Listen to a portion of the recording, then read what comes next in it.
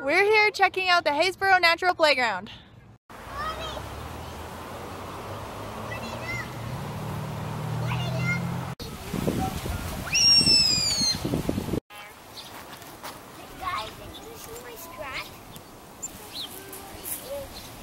Nikki didn't know how to do it.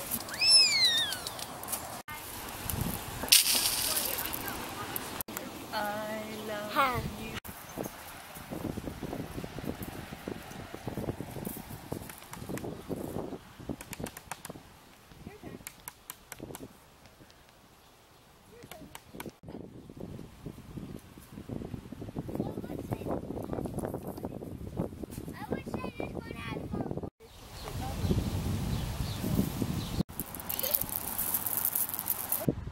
So this is a natural playground.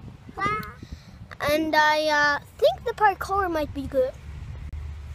It's real good. It- It's okay for, and plus little kids are good at it too. And what was the best part? Well, it's kind of racing down the slide with my friends. I made some new friends. Nice. So, what did you think about this playground? Um, I like the slide that's big and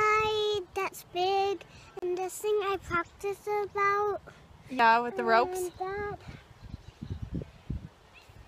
That's it. That's it? Okay.